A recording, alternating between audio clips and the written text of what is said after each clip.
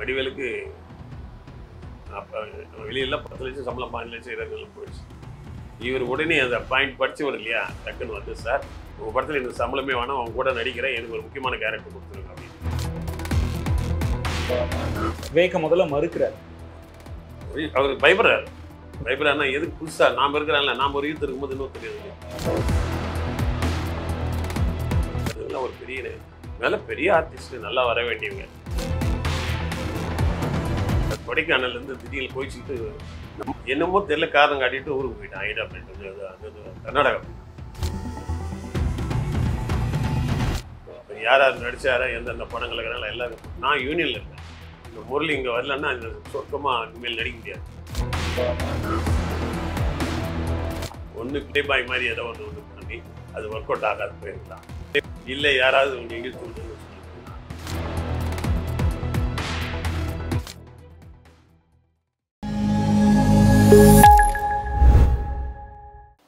Cinema தொடர்பான நேர்காணல்கள் பலவற்றை நமது நாதஸ் நடத்தி வரும் வேளையில். இன்றும் திரையரங்குகளுக்கு குடும்பங்களை எப்படி ஈர்ப்பது என்று ஒரு பெரும் சவால் நீடித்து வரும் நிலையில் குடும்பங்கள் கொண்டாடும் வெற்றி படமாக பல படங்களை கொடுத்த இயக்குனர் வி. சேகர் நம்மோடு இருக்கிறார். வணக்கம். வணக்கம். விவேக் சார் விவேக் சார் உங்ககிட்ட எப்படி வந்து வாய்ப்பு கேட்கிறாரு ஏன்னா பாலச்சந்தர் சார் அங்கிருந்து வராது நடிகர் விவேக். உங்களிடம் எப்படி வந்து வாய்ப்பு கேட்குறாரு முக்கியமா அவருக்கு ஜோடியா கனகாலாம் நீங்க படத்துல போடுறீங்க. இது எப்படி நடந்தது? விவேக் ஒரு காமெடியன். அவர் படிச்ச ஆள் தான். லாலாம் படிச்சவர். பாலச்சந்தர் சார் தான் இன்ட்ரடியூஸ் பண்ணாரு. நல்ல காமெடியனாக வந்துட்டாரு. பட் ஏ கிளாஸில் தான் இருக்காரு. ஏ பி சி எல்லாம் இறங்கல.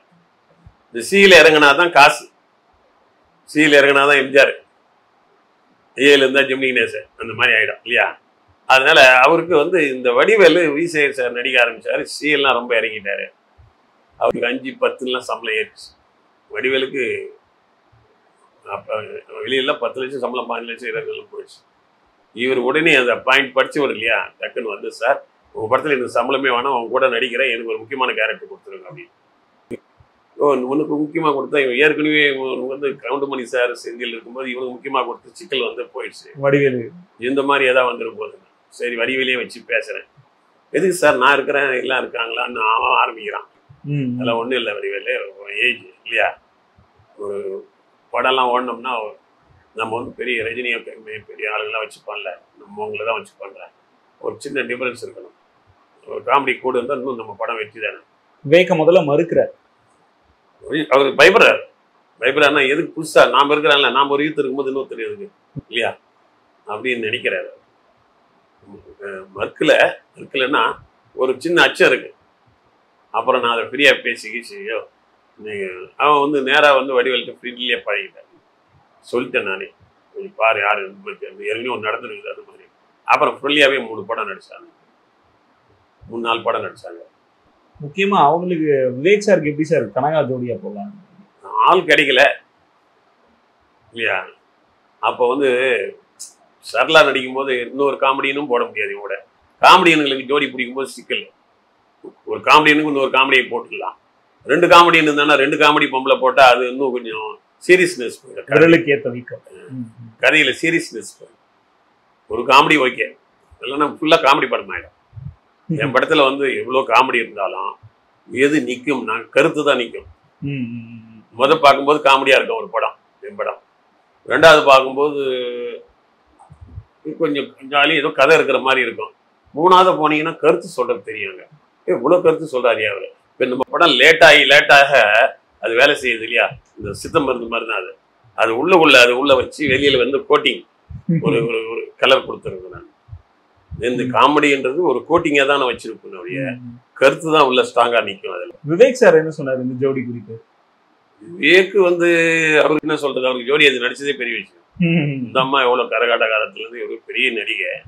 அப்புறம் காம்ப்ரமைசிங் பண்ணி அவங்க அம்மா கூட கொஞ்சம் முதல்ல யோசனை பண்ணாங்க.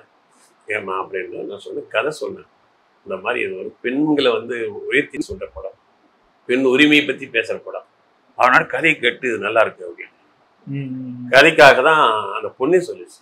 அம்மா அந்த கதை ரொம்ப நல்லா இருக்குமா? பெண்களை தூக்கி பிடிக்கிற மாதிரி இருக்கும்? அதனால அதனால சார் அவங்களாம் தொட்டுக்கிட்டுலாம் பே நடிக்க மாட்டாங்க.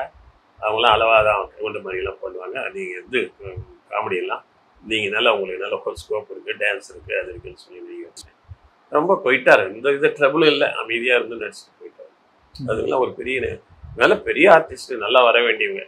ஆக்சுவலாக வந்து அவங்களெல்லாம் வந்து கைடன்ஸ் இருந்தால் அதெல்லாம் வந்து இன்னைக்கு இன்னைக்கு பெரிய ஒரு அதிக அதெல்லாம் தாண்டி நிற்கக்கூடிய அந்த மாதிரி ஒரு ஆர்டிஸ்ட் என்ன பிரச்சனை?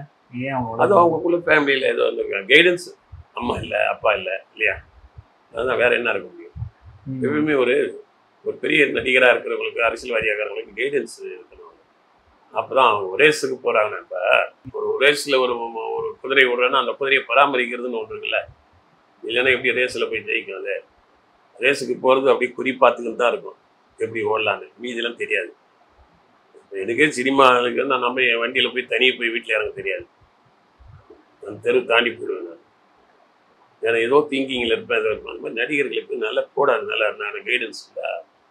சந்திரசேகர்லாம் வந்து இவரை வந்து ஒரு முறையில் இவர் விஜயை வந்து புத்தி புத்தி போய் வண்டியில் இறக்கி விடுறது ஷூட்டிங் முடிக்கிறது கொண்டு வரது புத்தி புத்தி அந்த கைடன்ஸ் இல்லை. சிவகுமார் கூட பசங்களுக்கு ஓரளவுக்கு கைடன்ஸ் நல்லா இருந்துச்சு சூர்யா கார்த்தி. அதுலலாம் அது சூர்யாவும் சேர்ந்து கார்த்திக்கு கைடன்ஸாக வேற வேண்டும் தம்பி. அப்படி சிவாஜி சார் வந்து கொஞ்சம் கைடன்ஸ் கொஞ்சம் கம்மி தான் ஃபேமிலியில். ஏன்னா அவர் எவ்வளவோ பெரிய ஆர்டிஸ்ட் ஆயிட்டார். அவர் வந்து நடிப்புலயே மூழ்கிட்டார். கொஞ்சம் கொஞ்சம் தான் கவனம் செலுத்தினார் பிரபு. இல்லைன்னா இன்னும் கொஞ்சம் அவர் கொஞ்சம் பண்ணியிருந்தா இன்னும் கொஞ்சம் இதை விட பிரபு. அதுதான் கனகாவுக்கும் மிஸ் ஆனதான் நீங்க நினைக்கிறீங்க? மிஸ் ஆகும் கண்டிப்பாக நல்ல நடிகை. போயிட்டு ஒரு ப்ராப்ளம் போயிட்டு சாட்டில் உட்காந்துக்கும் அது மாதிரி. அதான். அது அது மாதிரி உங்களுடைய படங்கள் வரிசையில அன்னைக்கு வீட்ல இருக்க ஹீரோஸ்லாம் நடிச்சாங்க. குறிப்பா நம்ம வீட்டு கல்யாணம்ல முரளி நடிச்சாரு. அதுல ஏதோ கசப்பான அனுபவம் நடந்ததா ஒரு குற்றச்சாட்டு? முரளி கூட நல்ல நடிகை. முரளி நல்ல டாப் நடிகர் அவங்க அப்பா டைரக்டர் எனக்கு தெரியும் அவர் டைரக்டர் பொறுப்புலாம் இருந்தார். நல்ல நடிகர் தான். என்னமோ தெரியல அது அவனுக்கு அந்த நேரம் அப்படி ஏதோ சின்ன சிக்கல். ஷூட்டிங்கில் கொடைக்கானல்லேருந்து திடீர்னு கோயிச்சிக்கிட்டு நம்மக்கிட்ட கோயிச்சிக்கல. என்னமோ தெரியல காரணம் காட்டிட்டு ஊருக்கு போயிட்டான். ஹைதராபாத் அது அது கர்நாடகா போயிட்டான். அது வெளியில் ஒன்றும் வேற மாதிரி சொன்னாங்க. யாருக்கோ யாரையோ ஒரு யாரையோ ஃபோன் பண்ணால் அது சரியாக வரலன்ட்டு போயிட்டான் அப்படின்றானுங்க. இல்லை ஏதோ அவசரமாக உடம்பு சரியில்லைன்றானு. ஏதாவது சொல்லிட்டு போகலாம்ல தப்புன்னு போயிட்டான் எனக்கு மூணு நாள் தான் ஷூட்டிங் முடியுது. வேற வழியே இல்லை. அந்த மூணு நாளில் முடிக்க முடியும் பணத்தை பண்ண முடியாமல் மறுபடியும் சென்னைக்கு எல்லாத்தையும் ஷிஃப்ட் பண்ணி அதை மேட்ச் பண்ணுறதுக்கு எனக்கு இடமே இல்லை. அப்புறம் பரங்கி மலையில் அந்த அந்த திரிசூல் திரிசூல் மலை. அதை வச்சு அப்படி கொடைக்கானல் மாதிரி அது மேட்ச் பண்ணி அந்த ஏரியாவை திருப்பி ஷூட்டிங் எடுத்து எனக்கு ஒரு பத்து இருபது லட்ச ரூபா லாஸ் அதில். அப்புறம் சூப்ரூட் சவுத்ரி சொன்னார் இந்த பசங்களாம் இப்போல்லாம் வர வர வந்து ஒழுங்காக கால்ஷீட் கொடுக்க மாட்டானு ஒழுங்காக நடிக்க மாட்டானுங்க நானே போட்டு தூக்கிட்டேன் அவனை நீ எதுக்கு போட்டேன்னு கேட்டார் அவர். அவரே ஏதோ ஒரு படத்தை புக் பண்ணிட்டு அவனை வந்து அப்புறம் தூக்கிட்டார் இவங்கெல்லாம் போடாத அப்படின்னாரு இவங்கெல்லாம் வந்து நான் ஒரு கட்டத்தில் நல்லா நடிக்கிறானுங்க போகிறாங்க அப்புறம் குரங்கு தானே வந்தது இந்த மாதிரி விட்டு போனால் ப்ரொடியூசர் எவ்வளோ லாஸ் ஆவாங்க. நான் அவர்கிட்ட வந்தவொடனே ஃபோன் பண்ணி கேட்டேன். முதல்ல நீங்கள் தானே புக் பண்ணீங்க? நான் முரளி என்ன இப்படியெல்லாம் பண்ணுவான்னா முன்ன மாதிரிலாம் இருந்தால் பாம்பெல்லாம் நல்லா படிச்சு தான் இருந்தாங்க இப்போ வர வர சம்பளம் அதிகமாகுது. அதாவது ஜாலியெல்லாம் எதிர்பார்க்குறானுங்க. அதில் ஏதாவது டிஸ்டர்பன்ஸ் வந்தால் ஓடிடுறானுங்க இல்லையா? ம். ப்ரொடியூசர் லாஸ் ஆகிறான்றது நினைக்க மாட்டேன் அவர் இது குறித்து என்ன விளக்கம் அளிச்சார் உங்களுக்கு முரளி? முரளி சாரி சார் நான் உடம்பு சரியில்லை. எனக்கு ஏதோ முக்கியமான அர்ஜென்டான ஊரில் வேலை. ஏ அது சொல்ல வேண்டியதானியா நான் ஷூட்டிங் வச்சுட்டு இங்கே உட்காந்துக்கிறேன்ல போயிட்டு ரெண்டு நாள் சென்று ஃபோன் பண்ணேன். என்ன ஆச்சு? அது வரைக்கும் நான் வருவேன். என்ன பண்ணுவேன்னு அப்படியே வெயிட் பண்ணி மூணு நாள் வேஸ்ட் தானே நான் வந்தேன். சாரி சாரின்னு ரெண்டு வார்த்தை சொன்னேன் ஏன்னா நான் மறுபடியும் நான் வேற மாதிரி சீரியஸாக எல்லாருக்கும் ஃபோன் பண்ண ஆரம்பிச்சேன். யார் யார் நடிச்சாரா? எந்தெந்த படங்கள் இருக்கிறாங்களோ? எல்லாருக்கும் நான் யூனியனில் இருக்கேன். இந்த முரளி இங்கே வரலன்னா இந்த சுத்தமாக இனிமேல் நடிக்க முடியாது. அப்படின்ற மாதிரியெல்லாம் ஒரு மிரட்டி விட்டாங்க. அப்புறம் வந்து நடிச்சு கொடுத்துருவாங்க. நான் யூனியனில் இருந்ததுனால தான் அதை பண்ண முடியும். கடைசியில் அது என்ன ரீசன் தான்? தெரியல. அந்த ஒன்று வந்து யார் யாருடையாவது முரண்பாடு இருந்திருக்கலாம். யாரையாவது இவர் ஜாலியாக இருக்கலாம் கூப்பிட்டுருக்கலாம். வரலன்ன உடனே இவருக்கு நம்ம ஆட்டம் இருக்கலாம் இல்லை எனக்கே ஆட்டம் காட்டணும்னு சொல்லி யாராவது சொல்லியிருக்கலாம். ஏதோ தெரியல எனக்கு. இதுல ஏதோ ஒரு ரீசன் தான் நீங்க நம்புறீங்க. இது ஒரு ஒன்று ப்ளே பாய் மாதிரி ஏதோ ஒன்று ஒன்று பண்ணி அது ஒர்க் அவுட் ஆகாது போயிருக்கலாம் இல்லை யாராவது கொஞ்சம் இழுத்து விடுன்னு சொல்லிருக்கலாம் என்னமோ தெரியல போயிட்டாரு. அவர் திணிக்கும் சம்பளம் மற்ற பிரச்சனைகள் எதுவுமே கிடையாது. திணிக்கு நல்ல அடி நடிக்கிற ஆர்டிஸ்ட் நல்ல ஆர்டிஸ்ட்னா நடிப்பு மட்டும் இல்லை. கேரக்டரும் சேர்ந்து தானே நல்லா பிரச்சனையா இருக்கு? அதுல பிரச்சனை அமைஞ்சிருங்கிறீங்க அதில் தான் ஏதோ ஒரு பிரச்சனை. வேற என்ன கேரக்டர் சொல்லாம போறதுக்கு பேர் என்ன?